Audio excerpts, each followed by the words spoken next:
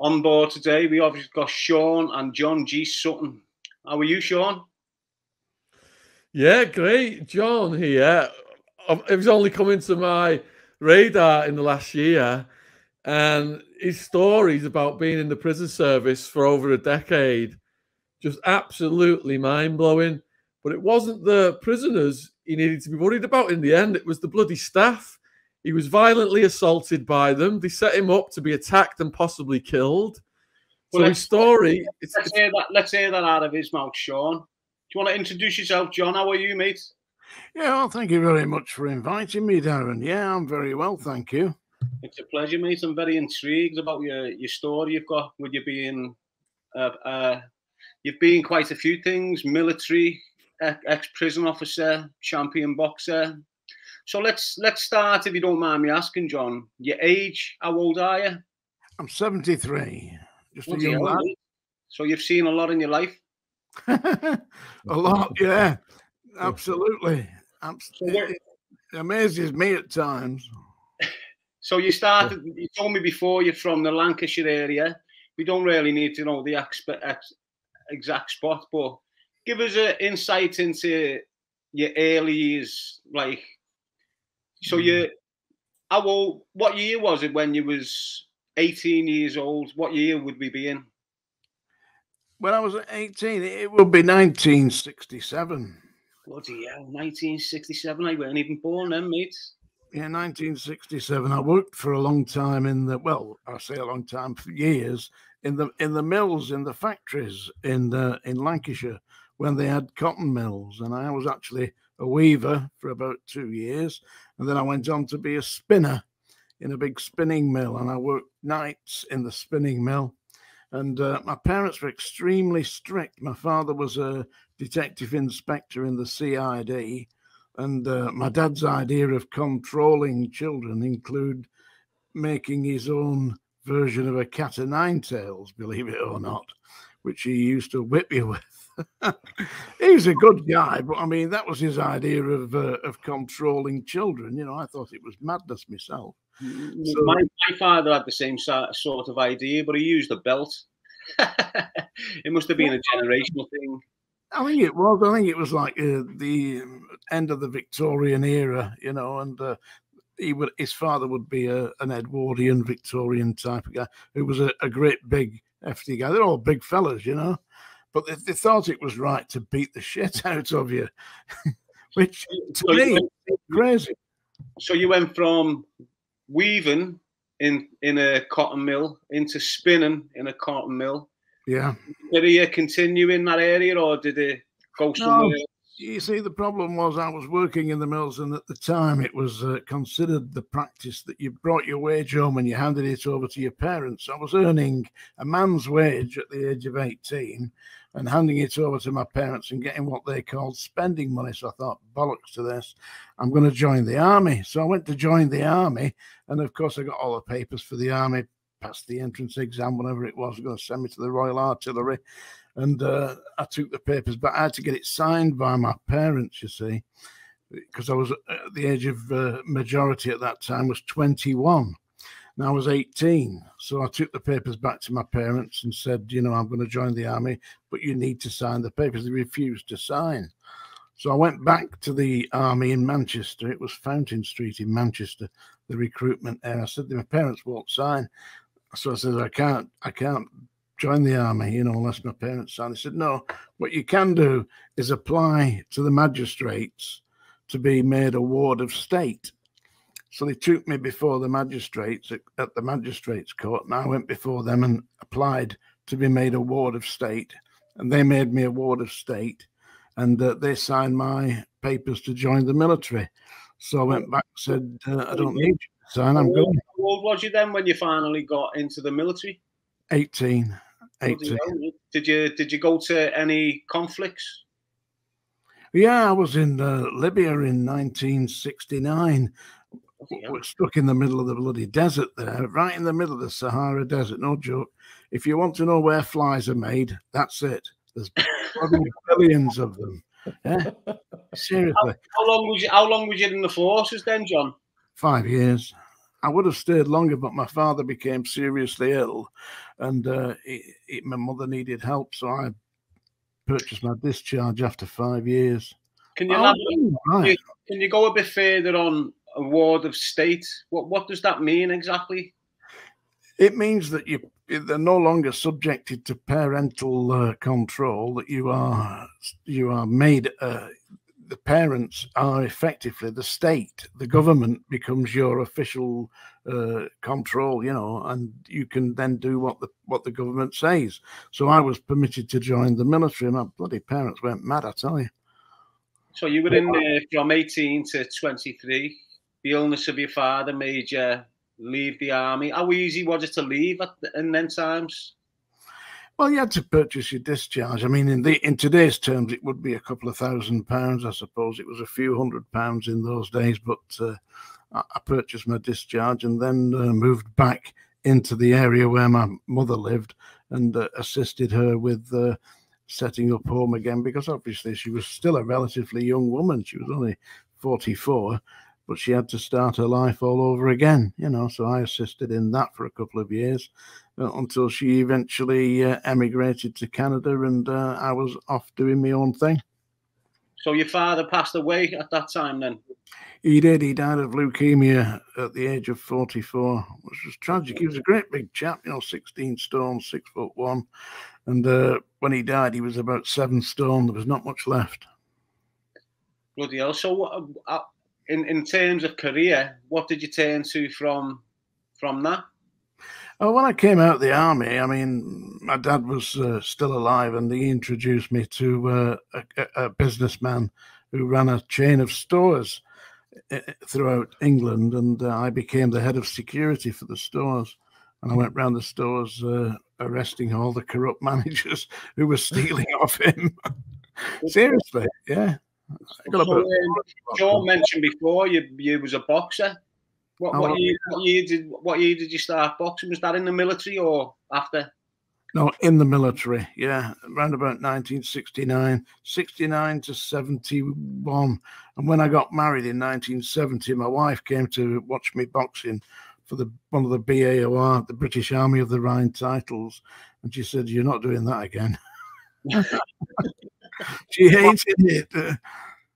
Well, what was what was the gloves like back in them days? Was they like they are now? You know, like twelve ounces, nine ounces.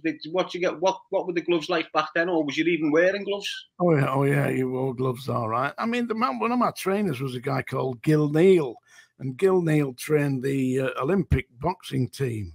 In fact, Gil Neal said, he said, I, he said, you're going to go a long way with this you know, and I was knocking them all out. He said, but really, he says, your style isn't suited for amateur boxing. I just used to walk in and do the Mike Tyson stuff. And uh, he said, you really should go professional. So I, when I told my wife that, she went absolutely spare. You know, you're not doing that. So, I, I did, did your end when your military career and no, no, no, no. After after that, I, I won the regimental titles and the area divisional titles and all that. Uh, and then when I got married, my wife insisted that I stop, which um, I took notice of because obviously it, it, it isn't the right way to go. I mean, as you can see, I've got one of them noses that look like it's been battered a bit, you know. But look, it has, believe me what you've been through, mate. You, you you went to Libya in conflict. You've been in the military. You know, you've you've been a head security and a in a chain of businesses up and down the country, I suppose. Then what you you was a prison officer, wasn't you? That's that's what I'm intrigued to hear about. You, your time as a prison officer. Yeah. What, year did you um, enroll in to become a prison officer? Well, in 1974, I mean, I'd tidied up all these stores, I'd sorted out all the corrupt managers and had a few of them locked up.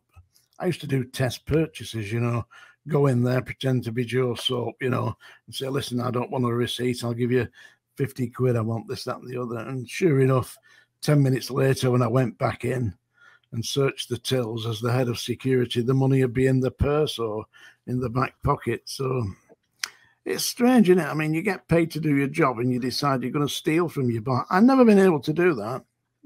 never been able to see myself as stealing from somebody, but each to their own, you know. So anyway, when I'd finished that, I decided I had to do something proper, and I'm colorblind.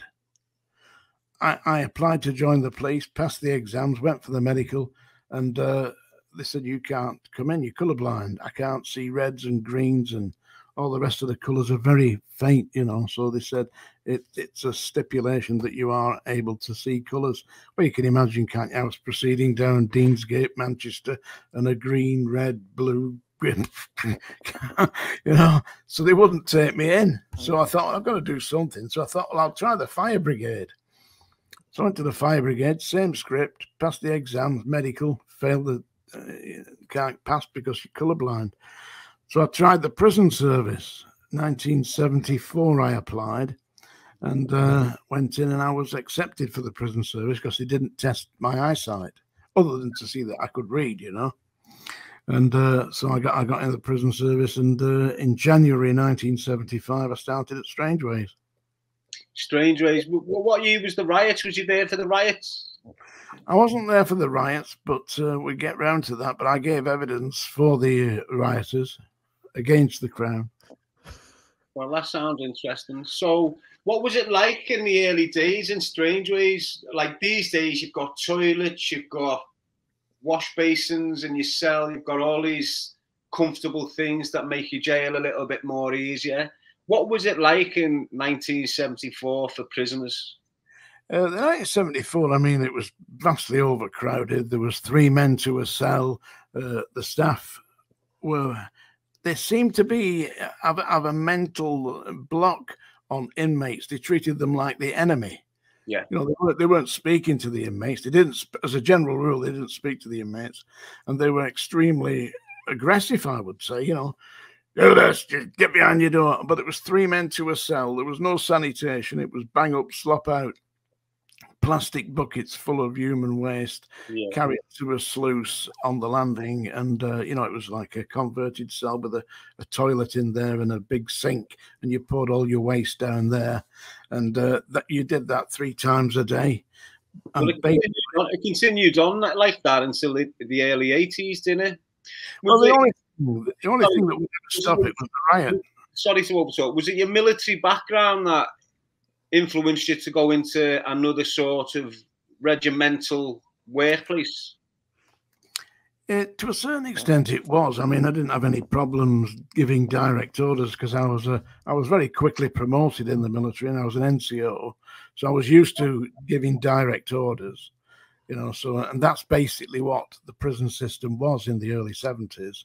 You know, you, you gave inmates orders and they obeyed them, and if they didn't, then they got snatched as you probably know. Yeah, I do actually. Yeah. So as so, let's jump into the eighties then. Go into 1981. What was you doing in 1981? Was you still in the prison service? Was you still working in a prison? Well, I started. I went from Strangeways to the training school, and then from the training school at Leyhill near Bristol, I went to uh, Wormwood Scrubs and, and Wormwood Scrubs is very similar to Strangeways, except it isn't set out in the panopticon style. It's set out in each the, the four separate wings. Yeah. And I worked on C wing on, on C2 landing, which was the biggest landing in Europe. It had over 200 inmates on one landing, and uh, there was four staff. And uh, we used to deal with deal with the the inmates on there. And from the scrubs, I went to back to Strangeway because I got in some real lumber at the Scrubs with the problems with, uh, I believe that it was the Masons behind it. Well, it certainly was. There was one governor there who was uh, helping himself to the inmates. That's he was unlocking them at lunchtime, taking them down to his office and getting them to bugger him. You know what that is, sodomize him. Yeah. And uh, I, uh, I reported this and uh, the chief officer said, On what authority are you investigating senior members of the prison service? And I had a warrant card. What year was this, John? What year was this? 1976, 75, 76. So the, the minute you started raising concerns about the hierarchy within the prison service, the Governor's Act, what happened to you? Did you start feeling Well, I mean, out the inner circle, if you like. It was very strange, actually. I mean, don't forget, I believed I was doing my job, which, let's be honest, I was doing my job. And uh, they called the police in, and uh, I was on the landing one day, and inmates were coming up to me saying, "What the hell have you been doing, Gov?" I said, "I haven't been doing anything, you know, doing my job, you know." I said, "There's two CID officers down there asking questions about you." They called the police in to investigate me, not the governor. So they were trying to get. I mean, don't forget, it's a temptation for any inmate to think, "Oh, well, I'll get one over on that bastard," you know. But I wasn't uncruel. I wasn't cruel to the prisoners. That don't get you anywhere, does it? Well, so, I think the majority of prisoners can recognise a dirty oh, officer and a clean officer from yeah. a mile away. I think they did, yeah. But it wasn't just the governor. I mean, one of the clergymen. Uh, one one Saturday morning, I went. I saw this man in his uh, prisoner in his cell, dressed as a choir boy. So I went into his cell. I said, "Now, come on, take that he had a surplice on, you know, and all that. So take it off. I said, You're not allowed to have that in your cell here. Why are you wearing it? And he started crying, this lad. I said, But come on, what are you crying for? Sit down here and tell me what the problem is. So he told me that every Saturday morning, the clergyman came into his cell. He had to get down on his hands and knees and fillet him. That means sucking his tongue. Yeah, let's let's let's try and keep it um, reasonable at this time of day. but it sounds messy, and um, for people to think that uh, it hasn't continued within the prison service that young men have not been abused within the prison service. I was in Werrington House. It was like a 120 young young child's prison, and in there it was dormitories, and it used to be 12 lads to a dorm. And of a night in there, so, some officers would come in and take certain lads out and have the wicked little way with them, and then the lads would come back and just cry all night in the bed. Mm. And that that was that was what early nineties in Stoke in a place called Werrington House. So for people to think that the the level of um, sexual crime is just outside the gates is is totally wrong. There's a lot of there's a lot of people in power within the prison system that use that power to manipulate individuals that'll do anything to get what they want, especially the ones with addictions. Well, I believe that some, uh, there was a number of members of staff that were involving themselves in uh, abusing uh, inmates, sexually abusing them.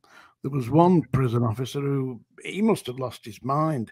He barricaded himself into a stockroom where they kept all the brooms and all the things, and he had three borstal boys in with him, and he sodomized all three of them before we could break the door down. Well, that's messy, and, and all, all this gets brushed under the carpet, doesn't it? It's like they've got a it's like they've got a code of silence amongst them, haven't they? Have, have you have you ever felt that there's been a code of silence amongst the prison staff and the prison officers? Code of silence. It goes worse than that. I was in charge of the hostel one night that was just outside Wormwood Scrubs, and uh, just outside the main entrance to Wormwood Scrubs, a big hostel there. They had about 20, 30 inmates. Just give me a second, let me take a drink of water. And an inmate came in and he started to tell me he was a member of the hostel, you see. Tell me about what a wonderful day he had in London and how he'd sent all these people into the back room and tied them up. I thought this guy's drunk. Well, he was. So I said, I'll sit down, I'll make you a cup of tea. So I made him a cup of tea, and uh, I remember it quite well. He had two sugars, and he continued to tell me this crazy story. I thought, this guy's out of his head. Anyway, next morning, I was going back home, and it was a Sunday morning, and I picked up a Sunday paper. And uh, in the Sunday paper on the front page, it was armed robbery in the West End. And it was the same story that this guy had told me at 11 o'clock the night before and it said at the bottom it had a, a, a, number to ring for West End Central CID. That's the flying squad, you know, the Sweeney. So I rang the number and told them what I'd heard, and they came to see me. And they said, took me to Ealing Police Station, interviewed me again, got a chief inspector out. He interviewed me again, three interviews. And they said, right, we're going to raid the, the hostel at Wormwood Scrubs. And I had to ring the governor and tell him we were coming in. So the governor, who was Norman Honey, he said, I don't believe you. So I said, I'll hand you to the chief inspector.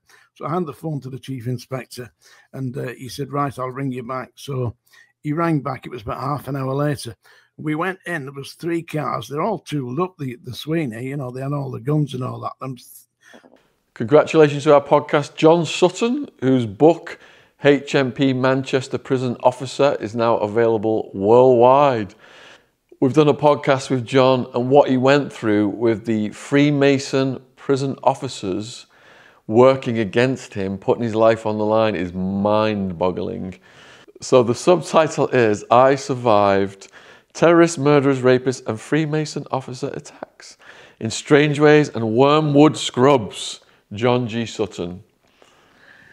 So this book includes drugs, riot shanks, dirty protests, violent Freemason guards, self-mutilation and suicides.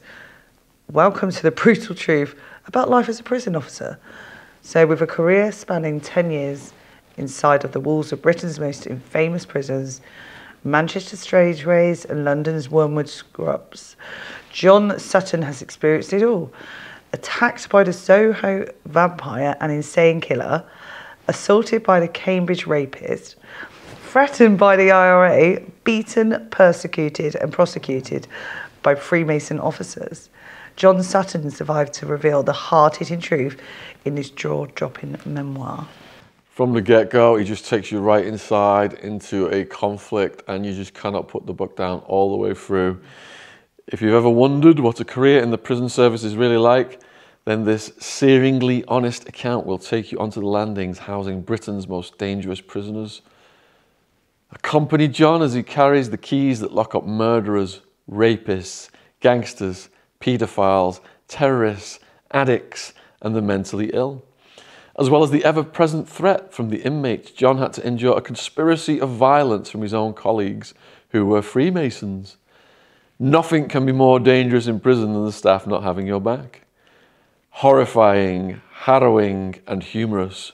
John's book will take you on an unforgettable journey into a netherworld of drugs, violence, and hostile Freemasons. It's even got the Masonic compass symbol on the cover. So check it out, available worldwide. John Sutton's book, HMP Manchester Prison Officer. It's an ebook, paperback, and audiobook. Bells ringing and blue lights flashing straight to the scrubs went in, got there, and uh, the, the chief officer who was in charge of security standing outside the hostel. And he said to this inspector, he said, uh, I'm very sorry. He said, You won't be able to search the hostel today. He said, Because the prison service requires that the inmates be present and there's nobody in the hostel. So the chief inspector said to him, If you don't get out the fucking way. He said, I'll stick you in the back of that van and arrest you for interfering with the police. And he said to me, Mr. Sutton, will you show us the way in? Well, he'd locked all the doors, so I kicked the doors off. And we went in and they found what they were looking for false ID cards and also. And between me making the phone call to Norman Honey and us arriving at the scrubs, it was half an hour. And between that time, every single inmate in the hostel had gone. They'd all signed themselves out, and it was about half past ten on a Sunday morning. So, so it was cool. obvious that the authorities at the prison had, given them the. Oh, yeah. yeah. they were obviously in it. Yeah, they were obviously in it, and and a, a short one, the guy who who had told me all this, he went missing. He he did a runner, but they arrested him about two years later, and uh, the CID phoned me up and said uh, he's going up to court. He's he's asked this to be taken into consideration, you know, the armed robbery in the West End. But they said, in the event that he changes his plea, will you come and give evidence? So I didn't have to go, but I agreed that I would. Uh, so I was right about that. I mean, they had been using the hostel at Wormwood Scrubs as a base for armed robberies. How mad is that? Crazy. But it happens, you know, it, everyone seems to think that the people that work in these prison establishments are law abiding, upholding citizens when they're just as violent and um, corrupted as most of the men they're looking at, aren't they? Well, I, I found that there, there, was a great deal of corruption, and I think it went right to the very top. Uh, I, I, was when I was at the Scrubs, I was dealing with a, a prisoner who I'm sure that you will know called John Stonehouse. Now, John Stonehouse was a member of the cabinet, uh, the Labour government, and he was the postmaster general. And he set up a bank, robbed his own bank, faked his own suicide, and uh, took off with all the money. And he was subsequently arrested and uh, found guilty and stuck in Wormwood Scrubs. But he had a, like a minor heart attack, and I was in charge of him at Hammersmith Hospital. Sat next to John Stonehouse. He said to me, "Officer, will you go and get me my Lucozade and a copy of the Times?" I said to John Stonehouse, I said, "I think you made a little mistake here. You know, you prisoner, me prison officer." you stay in your bed and I'll stay here and make sure you don't escape. So you would think, you know, that's fairly a fair explanation, isn't it? Yeah, that's fair. He didn't. He, he, he rang this bell, and this ward sister came over, and she said, "Officer, will you go and get him his Lucozade?" And this, I said, uh, "You're interfering with a Home Office production here." I said, "And if you don't get about your nursing duties, I will arrest you." What do you think happened? She phoned the governor at uh, Wormwood Scrubs and I was replaced. yeah. It's the, they sent for a butler. and, did he, and did he escape? Did he bollocks? He wouldn't escape from me, I'll tell you. But when I got back, to, when I got back to Wormwood Scrubs, the chief officer sent for me. He said, "What's all this about Hammersmith?" I said, "Did he escape?" He said, "No, he didn't." I said, "Well, that's what I was there for, to make sure he didn't escape. If you'd wanted a butler, you should have got somebody else." get out of my office. You know, they're bloody soft bastards. I mean, what did you think the job was? What about John? What about the the posh voice sounding guy that was the motor car motor car driver? Oh, that guy, yeah. John, your microphone's dead loud. Oh, is it? I'll turn it down. Is my microphone too loud? No, yours is fine, mate. All right, yeah, okay. Right, I was in charge of all new receptions on C Wing at, at the Scrubs, and uh, we had about eight new receptions one day. And it was my job to allocate them cells, take them to the cells, put them in the cells, cell carded, and get them added to the uh, landing register, which I did one at a time. And there was a guy who was in, in the queue because they all had to stand there, wait for me one at a time. I did this, and it's no easy task because it was absolutely packed the, the, the C wing at the Scrubs. And this guy says to me, he said, Officer, he said, I've been standing here for over an hour and a half. He said, and you are not doing this very efficiently, are you? I said, uh, I, I was surprised to hear this, you know. So I said, I'm very sorry, you know. I said, but if you'd like to make a formal complaint about my behavior, said there is an office there right in front of you. The guy in the window, you go and tell him that you're not satisfied. I said, I'm sure he'll listen to you. I knew what this guy was. He was absolutely bloody mad. This senior officer who was in charge, he'd been an ex professional wrestler and he, he would have tattled anybody. So this guy went up and made a formal complaint about me. And this guy behind the, he pretended to be angry. He said, Mr. Sutton, come here. I went over. I said, uh, yes. He said, put him in cell C123. I said, are you, are you sure about this? He said, I'm telling you, do it. And this guy looks at me as if to say, That's how you get things done in here. Little did he know he was going in with the tramps, the paraffin lamps.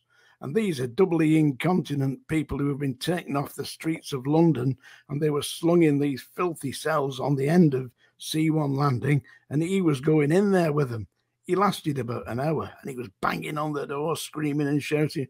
When we opened the door, he came running out, threw himself on the floor, and collapsed. They had to, they had to, they had to get the hospital staff to take him away. He was in a padded cell. what, what, what, what, year did you leave the prison? Being a uh, prisoner, when did you come out of that job? Uh, 1985. I was uh, assaulted by other members of staff. See, I didn't just go into the prisons. I thought it was a career, you know. Mistakenly, I believed I was joining a disciplined service, a bit like the military, you know. Yeah. But if you, if you, if you complied and you passed the exams and you did all this, I passed the exams, you know, the uh, the principal officer's exam, passed all that. Uh, but I mean, I might as I might as well have written it on a blackboard outside of a building. A waste of time. When you, say, when you say you got assaulted, what do you mean? What do you mean by you got assaulted? Grabbed by the staff and beaten up. What for? What? How come they done this to you? Well, it's a long story, but I, I, it really starts with uh, I, I, lived in the quarters at Wormwood Scrubs. That was a carry on. You see, when I went to the Scrubs, I went to see the uh, housing unit, you know, the people who, because they provided you with houses then yeah. called quarters. I went to see them and they said, Oh, no, he said, You've only just joined the Scrubs, you know, uh, it'll take 18 months before you get a house. So I thought, well, seems unreasonable to me, but I'll go and rent somewhere. So I went to see a local estate agent and I said, uh, I want to rent like a one bedroom flat so I can get my wife up. She was in Manchester, you see. And uh, he said, Well, where do you work? I said, I'm at the Scrubs. He said, You won't have enough money to do that. My entire wage at the Wormwood Scrubs would not pay for the rent on a one bedroom flat in London. Wouldn't. So I couldn't bring my wife up. So I went yeah. back to see I went back to see the housing department at the Scrubs. said, There's no way I can rent a place, so I need a house, you know. Oh, well, there's none available. So I did some research and found out that they got about 20 empty quarters, 20 empty houses. And I went to see him again. I said, Look, you've got 20 empty houses. What's all this about? Oh, well, they said that we're holding them for senior officers that come in. I said, Right, I'll sort this out. So I went to see all the staff who were waiting to get quarters, like me, junior staff and I put a, put a petition into the governor, put my name on the top, and went to see the governor. I said, "There are. There's a petition." I said, "You've got to release the houses. You can't hold them back." I said, "We're we're the we're the staff here. We insist that you do it, and you're in charge of the housing." He said, Well, I've appointed the housing committee. I said, You can appoint who you want. You're in charge here. I said, If I don't get a quarter next time, at the front of your prison with all these staff, I will be with banners and the press. Now, and I thought the chief officer nearly grabbed hold of me. I, I was out the office. But believe me, next time it came for allocating, I got a quarter. And all the other staff were saying, How did you get a quarter? I said, All you've got to do is get a list, put your name at the top, and tell the governor that you're going to demonstrate at the front of his prison if you don't get it. I said, You'll get one then. Let me just think, let there a minute, John. Let me say something to the viewers that are on here everyone that's on here now, it's nice to have you on board. I haven't been ignoring you. I've just been intrigued with what's coming out of John G. Sutton's mouth. It's a very intriguing story. I'm sure you agree with me. I'm going to start delving a little bit deeper. He's got a lot to speak about when we come to the Masons and so on and so forth. Obviously, I don't want to push it too far because speaking about that society can have you shut down in a flash. So it's important we don't go there. As you can see, Shaun's holding a book up there called HM HM Prison Manchester Prison Officer, and it's written by John G. Sutton. So that's who we're interviewing today. You've got me, you've got Shaun, and you've got John. We started off in his early years where he was working in the cotton mills.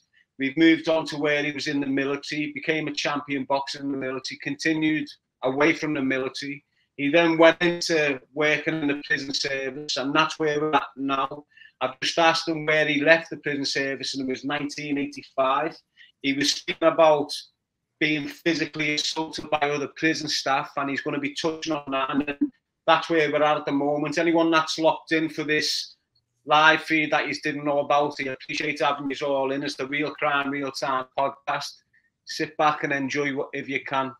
So go on, John. Sorry about that, mate. Hang on, Shaun, have you got any questions there you want to ask?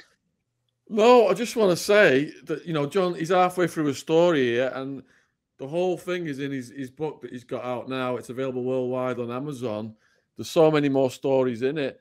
But yeah, this this story that John's talking about right now, it, it leads to him getting attacked and set up to be killed by the Masons in the in the prison service. Yeah, that's it they, what they did was they sent a gang round to the quarters where I lived, and they uh, attacked me on on the edge of my quarters. And then well, before gangs round, don't they? It doesn't matter if you're an inmate or I'm I'm I'm realizing now a member of their own clique.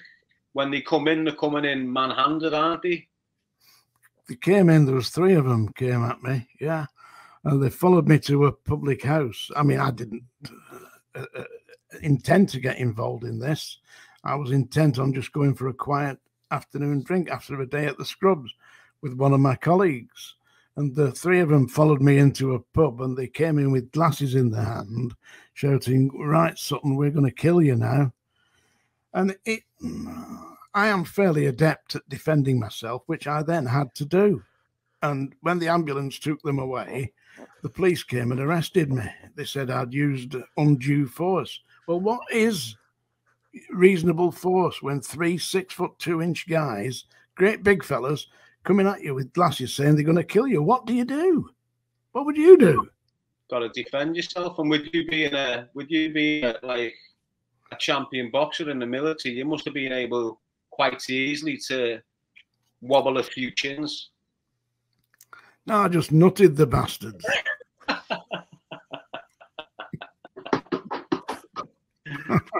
well, anyway, it, you, you, go on you go on about the Masons and the, the the the strength of the Masons within the establishment, and we're, none of us are stupid here. We all realise how how far and wide the Mason the Mason Society stretches, and in all public arenas of employment, they're in every level, aren't they? They can go right to the top, can't they? The thing is, I mean, about the Masons, I mean, there are certain le- there's a certain level of Masons where they they're just practically foot soldiers. You know, they're just making up the numbers. But the the 33rd degree Masons, people like Jimmy Savile, people like uh, Lord Mountbatten, uh, they're they're the people who are pulling the strings. They're the people with real power. People like the judges who are Freemasons, people like senior police officers who are Freemasons.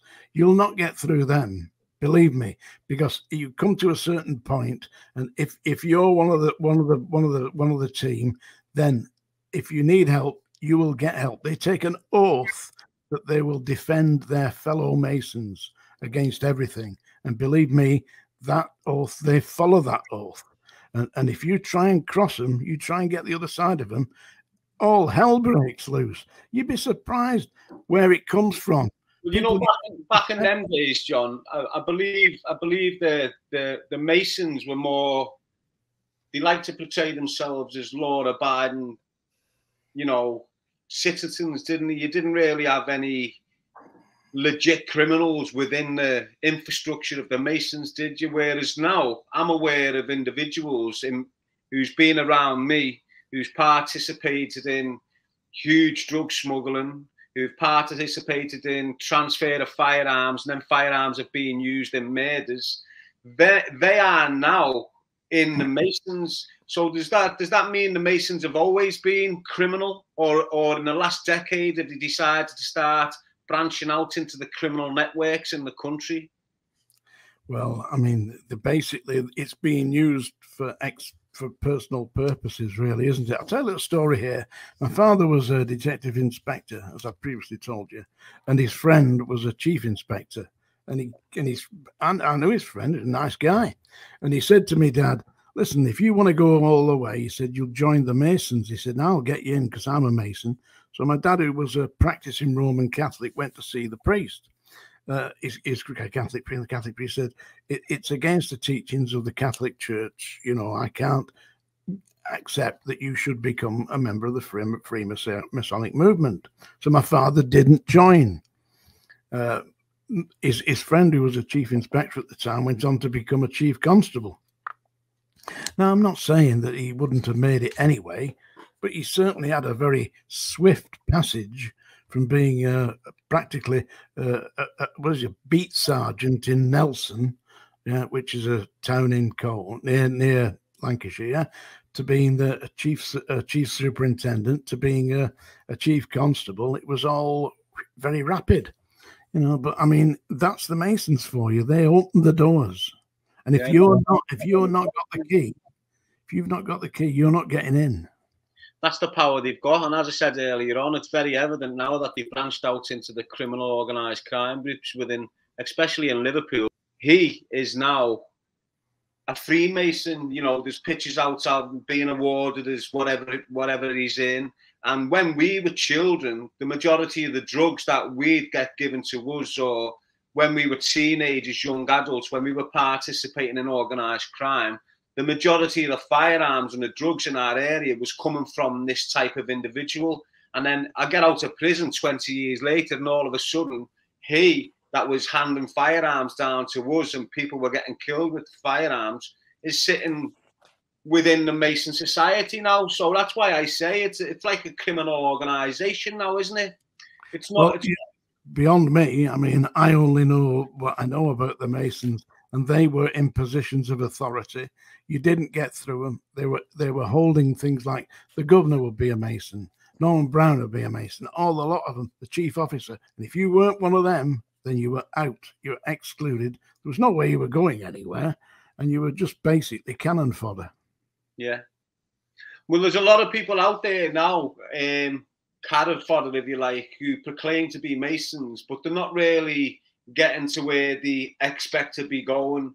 You know, you've got podcasters that are attached to Freemasonry. You've got people, as you say, prison officers. You've got cattle fodder Freemasonry, haven't you? But as you said, that 33 degree masonry, they're basically in most of the powerful positions of employment and regimes around the country, aren't they, if not around the world? Certainly, uh, in the UK, I mean, the the Masonic movement is is a big big issue, and uh, in Canada, one of my cousins is a member of the a, leading member of the Masons, but he don't speak to me. don't speak to me about it at all. In fact, doesn't speak to me at all. Well, that's what I mean. You're not allowed to speak about that stuff either if you're that high up. It's like when you think about criminals such as and people like this, you know, how was he able to do what he done and continue to get free and, you know, murder policemen in his back garden and continue to live that life? Anyone that was associated to him, like um, that fella that killed last Steve Lawrence in London years ago, it, it, there's meant to be firm belief that because he was linked to, he was able to evade justice. What's your opinion on that?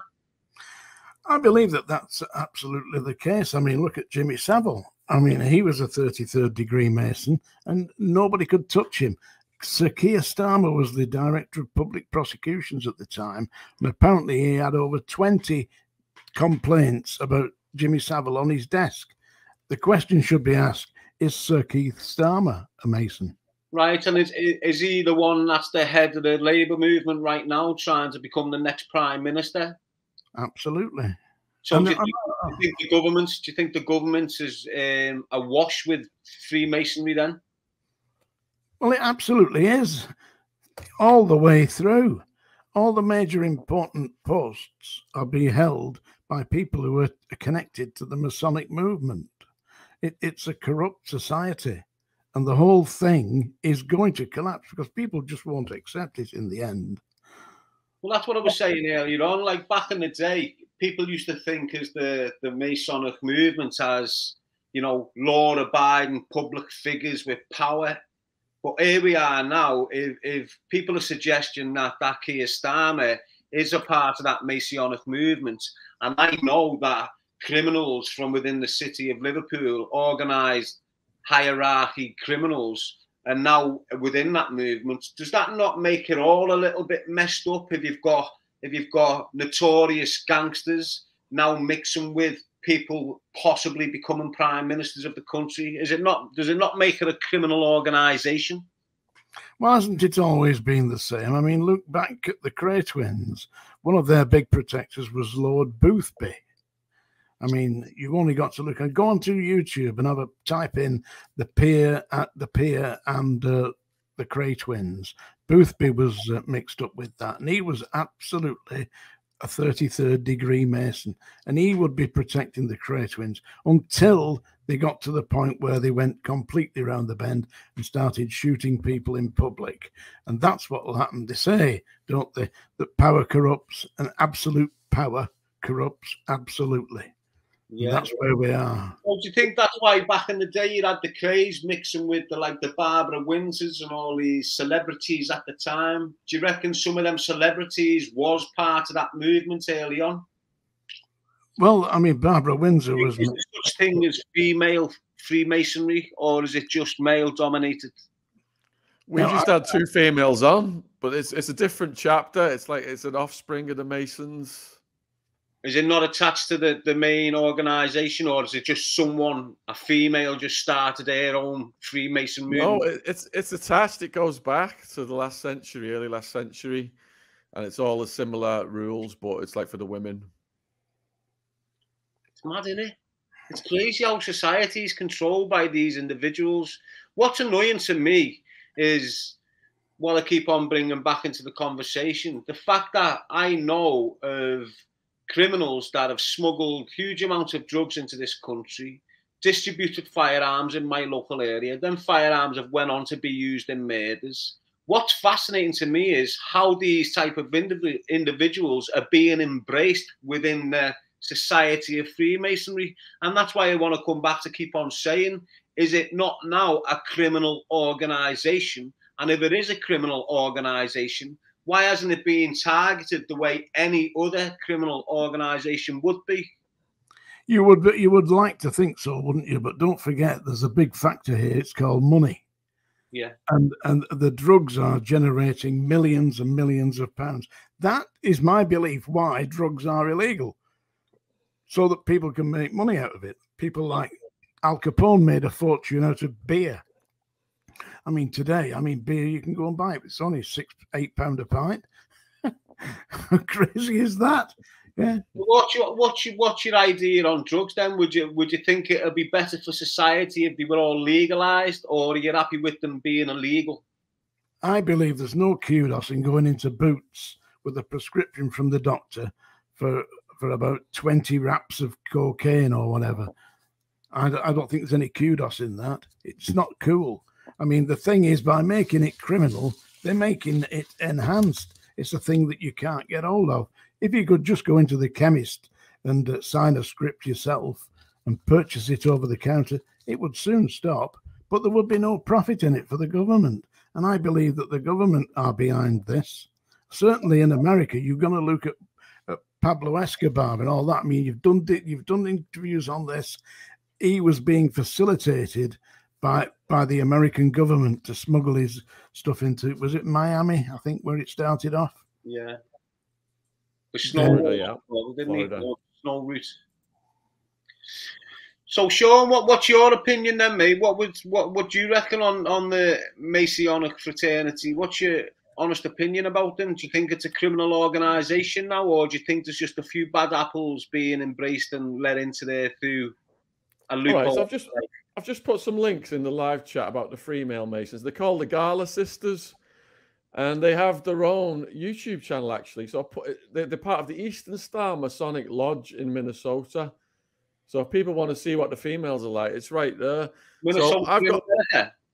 Yeah, so I, I've just got a new book out. It's called Elite Predators from Jimmy Savile and Lord Mountbatten to Epstein and Maxwell. And like John said, Savile, Mountbatten. I mean, how does a DJ from the north get access to the highest levels of the royal family without background checks and everything else? All these complaints coming in about him across the country. He's got it shut down because he's doing the Freemasonic weekly lunches for the cops up in Leeds. And any complaint that comes in, it, it goes to the same cop. So he shuts it down. And then Princess Di, and this is what Netflix didn't show on the recent episode of The Crown. They showed that um, John Major was the marriage guidance mediator. What it didn't show was Jimmy Savile was the bloody marriage guidance mediator between Prince Charles and Diana because it was all, you know, he was elevated to the highest levels of royal access. That's crazy, that. Well, I've seen in documentaries that he had a key to Broadmoor and he can go in there and abuse who he wanted when he wanted. He had he had keys to all these establishments and he just had free freelance movements in the mall, didn't he? And when the women, when the the, the women he assaulted, uh, hospital victims, females, young females, said to the nurses, "This is what Jimmy did to me in the night." The nurses would say, "It was just Jimmy. There's nothing we could do about it. Just don't tell anyone." What about Rolf Harris? I don't know much about his story. We have interviewed a few people on it, but I'm not. I'm not sure. I know a lot about. He's Harris got a doc- was was that powerful enough to sit in front of the Queen and do a piece of art on it, weren't he? And then it all came out a few years later that he was similar to Savile, weren't he? I don't think he was as prolific, but the crimes were equally evil and insidious. So there's a lot of there's a lot of um, madness going on in the in the world, and for for some reason we've been blind to it for a long, long time. But all of a sudden, the amount of information that you can get access to is starting to make people see sense about certain things, isn't it? It seems to me, I mean, I get a lot of comments from people who have served in the prison service. And they say things like, I've done 30 years in the prisons, I never saw anything like you've seen. Well, open your eyes. I've, I mean, I've, been, I've, I've been in prison the majority of my life, and I've I've witnessed young boys being abused in Werrington House when I was 15. You know, we can go into we can go into Woodhill in 2011 when I was there. That's a Category A prison. You, what the what the what the the law changed. So years ago, you could only have 16 to 18 in one prison, then 18 to 21 in another, then 21 and over in another all of a sudden that got relaxed and you could have 18 year olds in with the cons. And when that happens, I witnessed one young lad getting gang raped. I never watched it, but you've seen the men go in, you've seen the sh- you heard the stuff go on, you see them come out, you see the wing get locked down, you see them getting removed into segregation. But there was nothing in the papers that that young lad had been gang raped in Woodhill in 2011. Absolutely nothing. They brushed it under the carpet. They would do, but uh, I was at Strangeways, and one of your big drug smugglers, who I will not mention by name, uh, one of the big drug dealers from Liverpool, was in Strangeways when I was there, and he found him. I found him. He was at the age of about thirty-five at the time, and he was on uh, the YP wing, and the YPs were up to the age of twenty-one, but it was under it was the rules, the 1953 Prison Act, required that there was segregation between adults and junior prisoners. Mm. And he was the, the, red band on the YP wing. So I said to him, Get your gear packed, you're moving out. Oh, no, he said, The principal officer, such a body, has appointed me as the cleaner on here. I said, Well, I'll, I'll deal with him when I finish dealing with you. Now get your gear packed. And I moved him off the YP wing onto the adult wing. And then I went to see the, the, the principal officer and I told him what I'd done. He said, You've got no authority to do that. I said, Well, you can't change the 1953 Prison Act, but if you insist on attempting to do so, you can explain it to the governor because I'm about to put a paper in about this, which I did. But I'd moved him then, it was too late, you know. So that I put a stop to that. But I'm not going to sit back and watch some 35 year old just because he's a multi-millionaire drug dealer buggering you bloody YPs. Why won't you name him? Why won't I name him? He's alive. So what?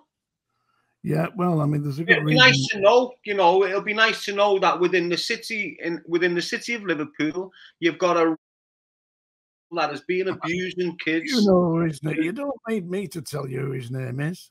There's only one we can refer to, but he weren't no big drug smuggler.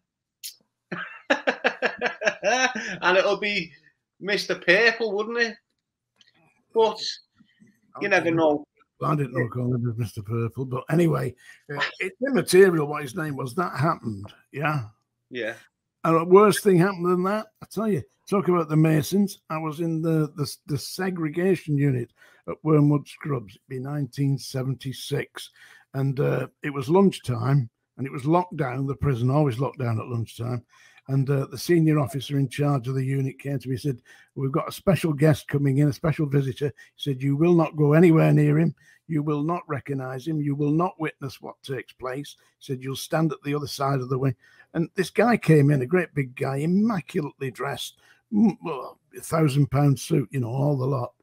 And they took him in and they put him into the cell uh, with this uh, sex offender, Ian Brady. Yeah and he was in there for about 20 minutes. When he went in, he was immaculate. When he came out, his shirt was undone, his tie was over one side, his face was all red. He was, well, what the bloody hell been up to? Huh? I know. few things, weren't it? It was either giving him a hiding for what he'd been up to, or he was having his wicked little way with him. I think he was buggering him, be oh, honest. It's messy. It's absolutely crazy, mate.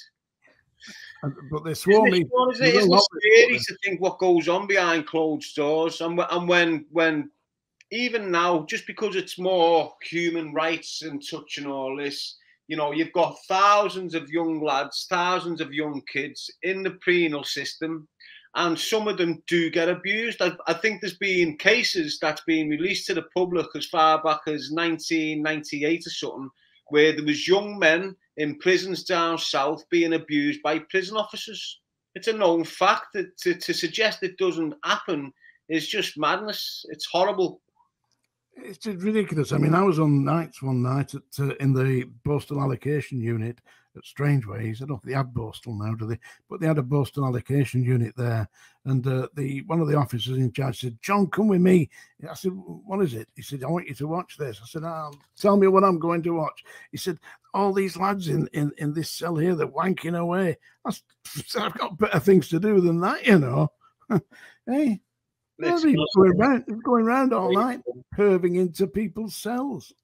Yeah, it's crazy stuff. I've I've seen that on the out. You know, I've been I've been 17 years old, and we I used to have this friend called Peter Almond. He ended up going on his toes because he snitched on a murderer. So he ended up living in Spain. But before he went on his toes, there used to be a woman that lived next door to him called Snatch. Pat her name was.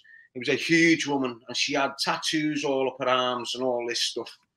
And the lower echelons of the Farley's fame, like Young Allen, Marvin, all these individuals, they used to go into this snatcher's house and they'd all be masturbating to porn, like six or seven of them.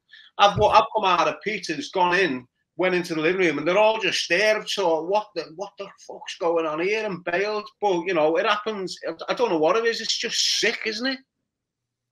It's a strange world. It's- It- it's- believe me, it is. the, the things that we're becoming aware to now is just absolutely horrendous and it makes it more important to watch out for the youth and the children because they're the ones that are most at harm here aren't they Well, yeah, it is. But you see, the thing is, I get lots of prison officers saying to me, "Well, I never saw anything like that. What were they doing?" I mean, you've been in- John, John, what what about the time you fell asleep on duty and a gangster was trying to French kiss Oh, you? uh, yeah, yeah. That that was it. Silver, his name was. He was uh, he was the former head of uh, Soho Vice team. You know, he was a, a vice man. He ran the vice clubs in Soho. Bernie Silver, and I was uh, in charge of the hospital ward one night at the Scrubs.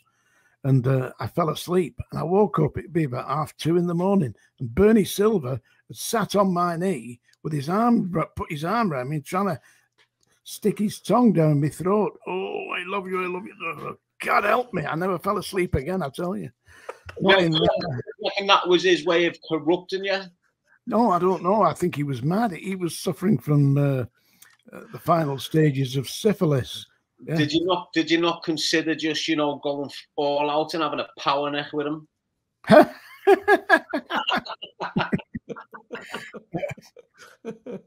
I can think of a response to that, but it's not appropriate. yeah. When I when I was at the, Listen, mate, we're we're on the hour now. Obviously, your story's intriguing. It's it's been fascinating to listen to. You've got yourself a book out, haven't you, Lau? Would you like to tell us a bit about your book? Yeah, well, it's very kindly of been published by Shaun Attwood's company, Gadfly Publishing, and uh, it's HMP Manchester Prison Officer. It's available on Amazon. I highly recommend it. Well, I would, wouldn't I? I wrote it. Yeah, got a but it- picture of you on the front. yes, that's a picture of me as a young man. You are fucking in your in your black and whites. Well, I was a young man then, wasn't I? I was 27, I think. I've got a head mm. on you, John. Fucking hell, mate. You must. How big? How tall are you, John? Are you tall or are you small? No, I'm only, I was five foot eight. I've shrunk a bit now, but I was never big. But I was obviously big enough. Was you thick? Was you like? Well, 15 stone. Yeah, so that's quite big, isn't it? Big enough. I mean, Mike Tyson's only five foot nine, isn't he? Yeah, that's what I mean. If you're 15 stone and around that, that height, you're sort of wide and thick, aren't you? Whereas if you were taller, you'd be able to lean there. So you If you're, must that, if, you're that, if you're that size, you don't go down very easily. You know, I never. But anyway, I didn't go in there to batter inmates. I went in there for a job. I was trying to look after my wife. I've got a handicapped child. I had to look after my child. You know, I wasn't going in there to to be a hero. I was going in there to earn a living. That's what I did it for. And all I got was abuse, the bastards. So where you are, John? What in, in what some people might say your twilight years, you're in your 70s. what what what, yeah. yeah. what advice would you give to anyone? Is there any? Is there one? You know, is there one bit of advice that you think people should practice? Yeah, absolutely. Don't give a shit, lad. If you're going, if you're going out there, do what you think's right, and don't let anybody tell you you're wrong. If you know you're right, stick with it, and to your own self, be absolutely true. And that's Yeah. the way I've gone through life. Be true to oneself. It's like don't lose your identity in it. Always identify who you are and where you've come from. Do not give in. Well, John, it's been pleasant. It's nice to have you on. It's been, as I said, it's been very fascinating your life at the moment. It's we couldn't we couldn't sit here for hours and do it properly. Hmm. We've got to bastardize it into a shorter version. People, if you need to know more about it, Shaun's holding the book up there now for you. He's going to let you. If you want to know more about John G. Sutton's life as a as a way a young man from Lancashire, where started work in the in the cotton mills, moved on to the military, left the military, ended up into the prison system. He's come out the prison system, and and here he is. He's doing what he's doing. It's been a fascinating talk for me, and I hope my people have liked it. Oh, So, John, have you got any last words, friend? well, thank you very much for inviting me down, and I've enjoyed it. Thank you. All right, thanks, Thanks, a lot, John. John. Speak Cheers. to you soon, brother. Thank you, Shaun. Thank you. What do you say, Shaun? Sean is a no nonsense guy. He's got his military training, he's got his boxing training. And in the book, if anyone causes any shit, and a lot of people do cause shit, he just knocks them out or they do get hospitalized. And I just like the way he just says everything as it is. There's no bullshit. He's always honest. He's never tempted into corruption or stealing anything. And he, he is a true hero because all around him was corruption and, and madness.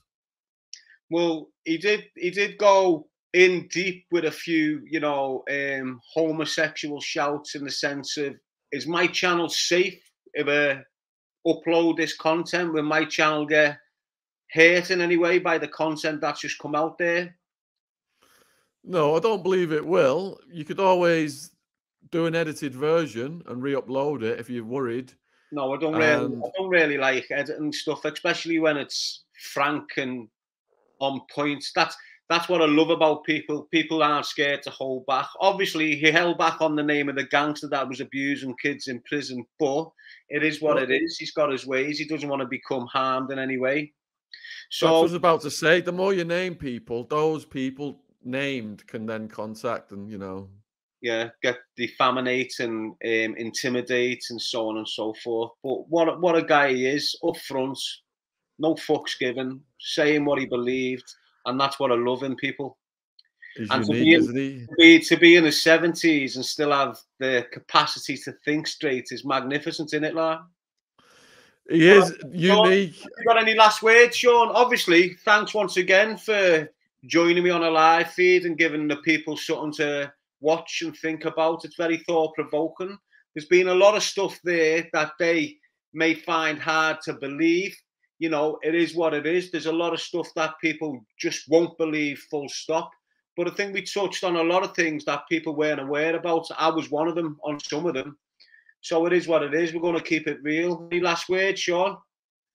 Yeah, who do you want on next? Because we've interviewed almost a thousand people on my channel and we've just got loads. So you just let me know. And you make my life easy, Darren. I just sit here and listen. I don't have to ask any questions. It's great. well, we've got different interviewing skills, and you're, you're in the game for a long time. You, you, you're well rehearsed in interviewing. I'm not. I've got a different way of approaching questions and asking people about their lives. The way yours is more the way you do it. So it's going to be appetizing to the viewers, isn't it? You know, it's going to be. you bring out you bring out a completely different side of them than they've already told on my channel. So it's creating new stories and new content. I think people like it. It's just under an hour. It's punchy, and it's yeah, it's a buzz. All right then. Well, you mentioned there any more people. I'll I'll interview anyone, and it doesn't have to be a streamer. They can be in studios. I know you mentioned the other day. I know you don't like going places. I'll go anywhere as long as the individuals are where they're going for. You know what I mean? But Yeah, but these are these these are these are dead easy. Let's ask the viewers. Put a one in the chat if you want us to start doing these. You know, every week or so, just an hour long, bringing a new guest in with Darren. So all, and me. all, all, all, uh, all my people in, in here and Shaun's people, I'm sure a few of you have logged in as well. if you want us to continue on a weekly basis, you know, revolving weekly interviews with different people on StreamYard, hit a number one. If you'd rather see me and Shaun present with some individuals, hit a number two. Let's see what's going on. It's looking like the one, Shaun. Yeah, I, could, I might be able to arrange someone for lunch tomorrow, actually. We'll do that then, mates. I'm free. I'm I'm ready to go. All right, I'll put the feelers Shaun, out. I'll speak, to you, I'll, speak, I'll speak to you off the live in a minute, mate. Hope you're well. It's been, as again, it's been good. It's been exciting. I'd just like to repeat a thank you to John G. Sutton for participating in this live feed this afternoon. Peace out, L5. Shout, choose a life, not a knife. As always, people, protect the children, protect the future. Keep it real. Cheers, everyone. Thanks.